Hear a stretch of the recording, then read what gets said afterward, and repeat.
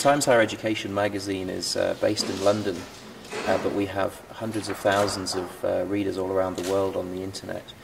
Uh, we've been publishing uh, news and analysis about higher education for 40 years now, and we were originally part of the Times of London. So we're basically specialists in higher education news from all around the world, and we have a, a, glowing, glo- a growing global audience. Yes, uh, Thomson Reuters, as I'm sure you're aware, is a very large company, and our uh, broader company objective is to collect uh, information that help professionals make decisions. And so, uh, by working with Times Higher Education, we believe that we can um, collect factual data about universities, which we can then turn into very useful services for universities themselves, government, and funding bodies. Well, we've seen uh, extraordinary globalization among universities in recent years. We have 3.3 million students now study outside their home countries.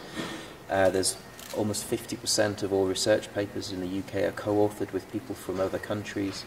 Um, universities are becoming global brands. They have campuses all around the world. So we're seeing tremendous globalization in higher education, and I think there's a real need to understand that process.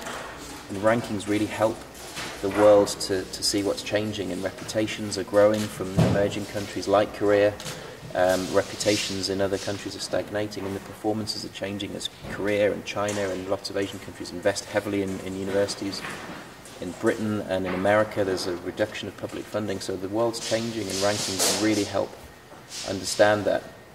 But they're also becoming extremely influential, and it was essential to us that we had data that was reliable and that we had a system that was very sophisticated and comprehensive. So that's why we decided to work with Thomson Reuters to produce a new system that was a much more rigorous exercise. And Simon's been working for years gathering the data to create the information we need to produce a serious analysis. Uh, just on the, on the methodology level, Times Higher Education looks at the whole university across all its aspects. So we look at research, we look at teaching, and we look at knowledge transfer. So in order to do that, we use a wide range of indicators. We've used 13 different indicators to look at a, a comprehensive university right across its activities. Um, but it's an extraordinarily complex process to look at research. Uh, Thomson Reuters have uh, used 25 million citations for 5 million articles. There's huge amounts of information we have on each university. But it's important to get a really broad sense of, of the, uh, the institution. So we collect data in, in three broad areas. One is data um, provided by the university. The second is data from our annual academic reputation survey which incidentally will be launching in the next week or so for the 2011 survey. And uh, also we use the bibliometric data from the Thomson Reuters service known as the Web of Science. So those three together go in to inform uh, the ranking which is produced by the Times Higher Education.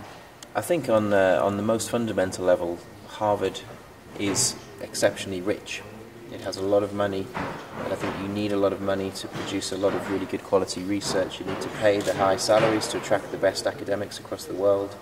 You have the, the money to create the best facilities for scientific research, the best laboratories. So there's a really fundamental level of, of very good funding from the private individual, from, from its endowments, um, which produces excellent research, which is world renowned. But there are all sorts of other elements as well that, that contribute. You know, it has strong academic freedom. It's, uh, it has quite a lot of autonomy to be uh, fleet of foot and to be entrepreneurial. I think the important thing to remember that uh, international rankings are based on criteria that applies all over the world. So you can use things like research impact, income measures, staff-student ratios, the local uh, rankings are based on a whole different range of criteria. Uh, one of the innovations we make with the Times Higher Education World University Rankings is that we scale for size. So if you have very solid research in a specialist area that you're, you're able to perform, we don't rest too heavily on historical notions of prestige and we, we don't give as much weight to reputation as some of the other global tables do. So we're looking at um, its impact in a global environment in terms of its research output, these sorts of elements. So, so you'll find that uh, smaller institutions like POSTECH have a very high impact in their fields. We've seen in the rankings that actually Korean science and technology universities are doing exceptionally well. POSTECH has a, a very high score, KAIST has a very high score. So there's clearly excellence in science and technology. But we need to sort of unpick the data more to look at excellence in very specific mm. subject areas.